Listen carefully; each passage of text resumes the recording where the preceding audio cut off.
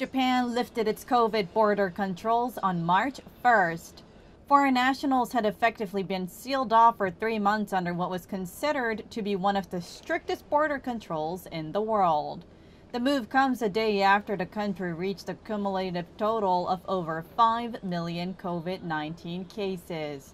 Starting March 1st, up to 5,000 people per day will be allowed to enter Japan for purposes other than tourism. Visitors who have been vaccinated three times will be exempted from self isolating or have their quarantine period shortened to three days.